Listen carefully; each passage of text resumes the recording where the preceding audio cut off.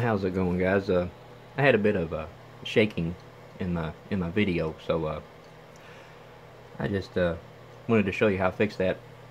Uh I had these spacers I guess you call them uh just right in here you know four of them just to mount this top plate of the gimbal to the main main plate here.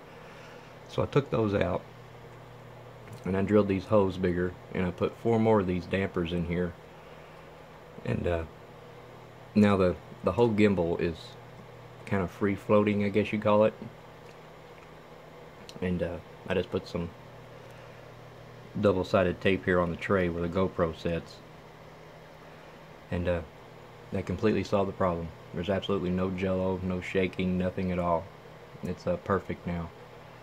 And I set it up in the air and uh, just let it sit there and it's it's like a picture in the air whenever I review the video. So if you're having that kind of problem and you've got room to do that give it a shot. It might uh, might solve your issue. So that's it for now. Uh, thanks for watching